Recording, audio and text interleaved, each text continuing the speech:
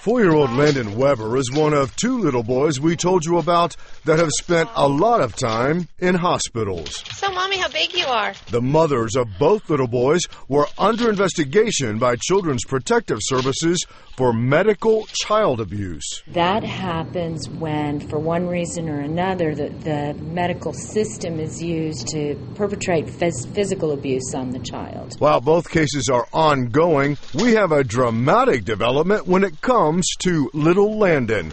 You walking in your new walker? His mother, as well as some doctors, say Landon has a rare disorder called mitochondrial disease.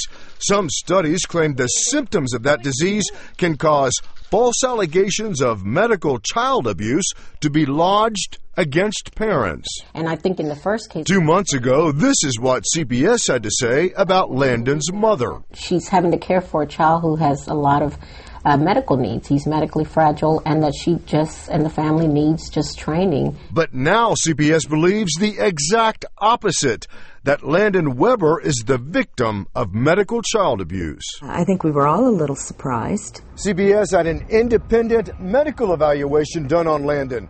Just days ago, that doctor testified in court Landon has no medical condition whatsoever. His problems are because of his mother. I think that given the findings that we have, that the parents have been involved in some medical child abuse. I'm horrified. The court testimony accusing Landon's parents and even possibly his grandparents of causing his medical problems came as a shock to the Webers. It must have been tough listening to some of this stuff. Yeah, it is. It's about the worst thing you could you could have to do as a parent.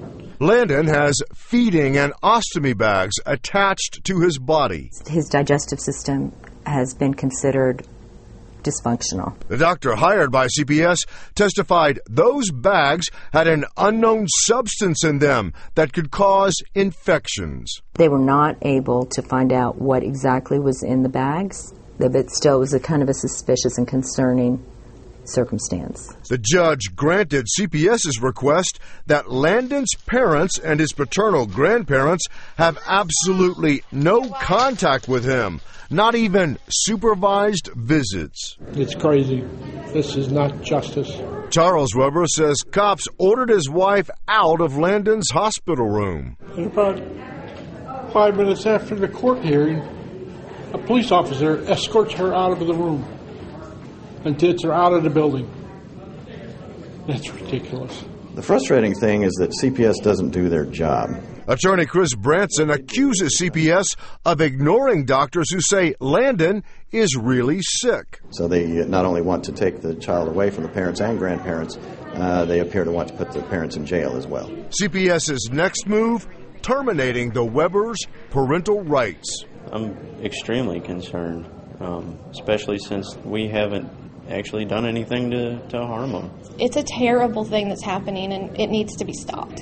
While CPS insists there is nothing physically wrong with Landon, his parents say they will do what they've been doing for six months.